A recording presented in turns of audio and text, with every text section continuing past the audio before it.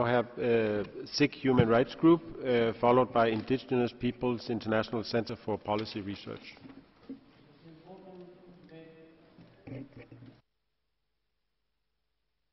detect is inclusive in the SDG 2030 goals.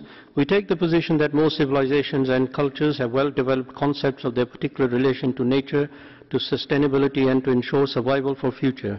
However, the international language and concepts on sustainable development, whether at the UN or in the States, is expressive of one or at most two civilizations, their historical evolution and their approach to nature and life.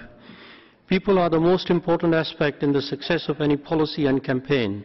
If the language and policies do not make sense to the people, they feel disenfranchised. We started a project to look at how different civilizations have traditionally approached sustainable development and how they can be empowered to be inclusive in the international agenda.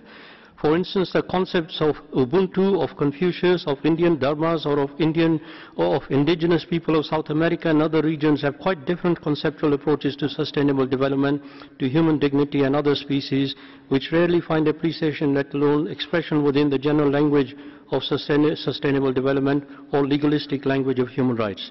We started a project called Worldviews of Nature with a view to give them more importance and responsibility in SDGs.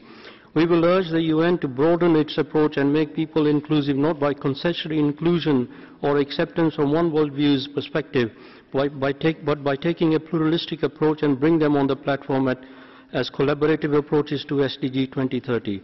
It's not always the money, but also empowerment. Let us empower practices that have worked for centuries. Thank you. Thank you so much.